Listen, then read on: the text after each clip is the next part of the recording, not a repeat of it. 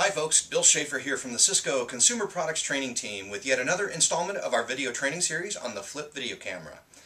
Got a great video that you want to email to friends and family but who may be miles and miles away? No problems. The FlipShare application that's a part of your Flip video camera provides a built-in way to email your video with just a couple of clicks. Let's take a look. So here's the few simple steps in emailing someone a video that you took with your flip video camera. First thing you have to do, of course, is plug in your video camera to your computer and wait for the beep. There it is.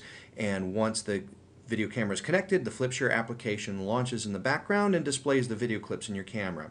Of course, we could first save these video clips to the computer and then email them that way, but I want to show you how easy it is. Just plug in the camera, click on the video that you want to send, and then go down here to the toolbar at the bottom of the FlipShare program and find the email button.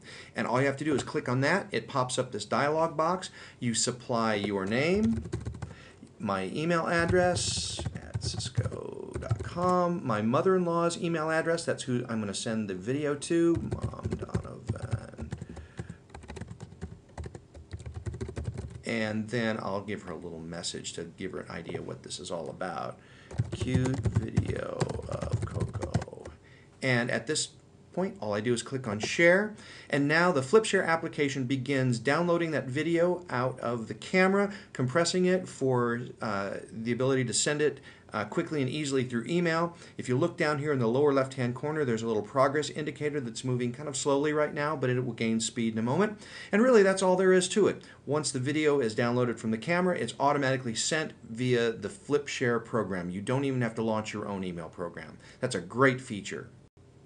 Curious about what that email is going to look like when you email someone a video right from the FlipShare application? Well, this is what it looks like.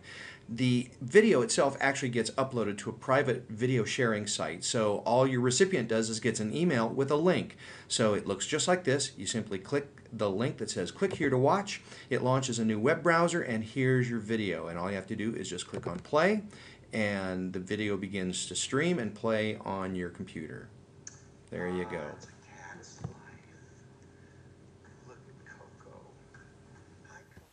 In addition to sharing via email, you can also use the FlipShare application to post to MySpace or YouTube or your favorite social networking site.